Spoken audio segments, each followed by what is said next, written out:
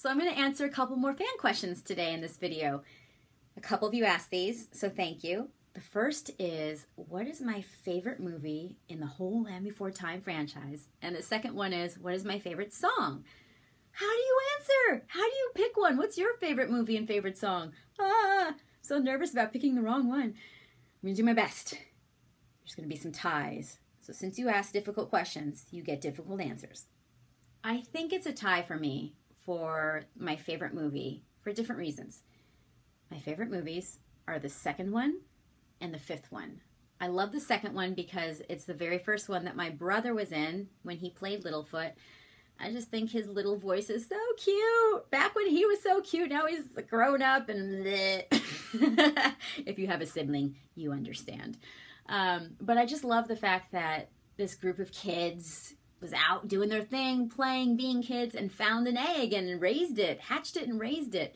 And I love the character of Chomper, so that's why that one is one of my favorites. And the other favorite is The Land Before Time 5, not only because I was lucky enough to be able to be a part of it and voice Cera for the first time, but I loved that Chomper returned, and I just loved being a part of that gang. You know, I love being a part of that ensemble. It was very meaningful to me at that time in my life, so um, it's always going to be one of my favorites for that reason.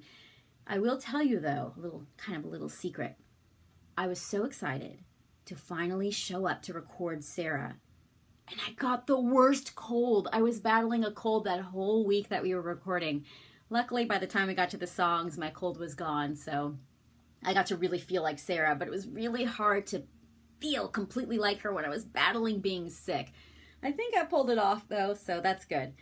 And my favorite song, oh, I think it's another tie, ha between Always There and If We Hold On Together.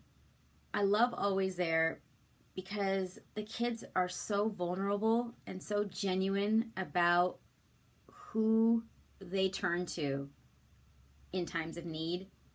And it's just such an emotional song. It's, for me, the most reflective of Cera's deepest emotional love. Like her love for her father is the most important thing to her, the most important relationship to her, I think. And so to sing about how important that is to her was it was just a beautiful song and beautiful for me to sing it. And Littlefoot singing about his mom and the other characters singing about their parents. It, it's just a very loving song and uh, it's a ballad i love ballads so i love that one and then i love if we hold on together not only because also it's a beautiful ballad but of all the songs in the franchise that i've been lucky enough to sing that one i think was the closest to my natural singing voice not quite there but almost when i sing as Cera even when i'm uh, more singing versus kind of being charactery I'm still singing in the back of my throat and pinching my throat a little bit, so it's really hard for me to sing out fully.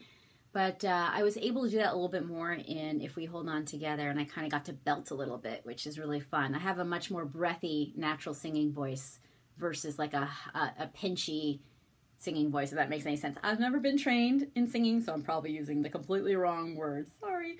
But that's why I love both of those songs. So thank you for asking the questions, and if you have any more, I will try to get to them uh, when I have a chance. Bye!